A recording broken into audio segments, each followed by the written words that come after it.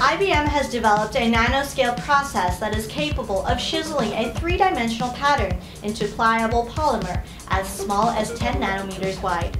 While it's not technically 3D printing, rather 3D carving, it is still a pretty amazing advancement.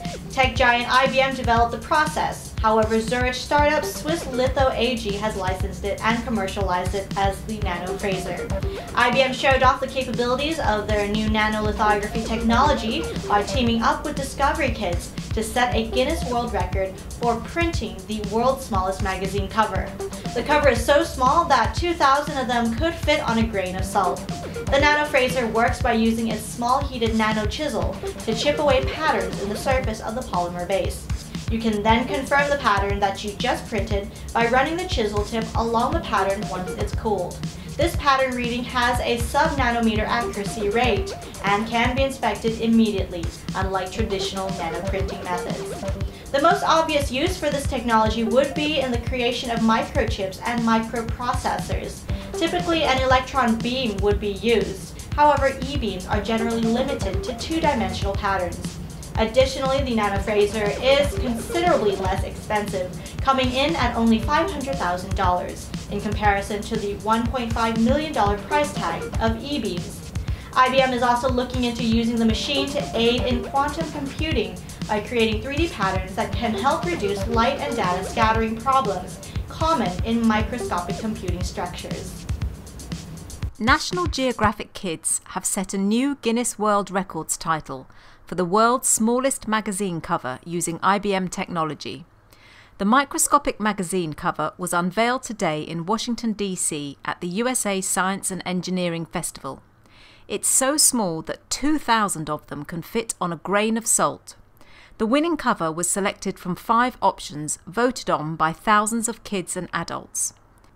To create more energy efficient clouds and crunch big data faster, a new generation of technologies are needed, spanning from new transistors to quantum computers. But before these technologies go into mass production, new techniques are needed to create microscopic prototypes. IBM scientist Armin Knoll explains. So this is a nanoscale chiseling machine. Basically, you can use it in order to um, create three-dimensional structures at the nanoscale with very high precision. So uh, similar than removing um, with a chisel stone from a big plate of stone. Here you can use this device and use a very hot tip in order to chisel away material from a polymer film. Now you can do that with such a precision which is unprecedented and in that sense you can use it as a scientific tool in order to build uh, prototyping devices um, which you cannot build with any other um, tools so far. To achieve this, IBM scientists have invented a tiny chisel made of silicon with a sharp apex which can be heated.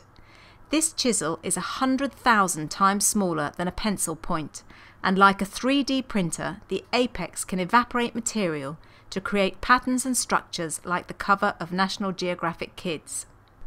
IBM scientist Colin Rawling explains how the microscopic cover was created. It started with National Geographic giving us uh, a JPEG image, so a normal web type image of the the cover that they wanted us to produce, which had been voted for by their readers, and then we take this image and turn it into black and white. And so with this uh, grayscale, as we would call it grayscale image, we use the the brightness of each point in the image to control how strongly we push the tip into the surface. And this pressure then translates to how much plastic we remove, how much polymer we remove from the surface. So in the end, once we've uh, made this translation from brightness to force, we then start our tip moving over the surface of the polymer sample, and at each point it's pushing into the sample and removing material. And so in the end, what you see here is that after we've written the pattern, we come back and read it to see how things have gone.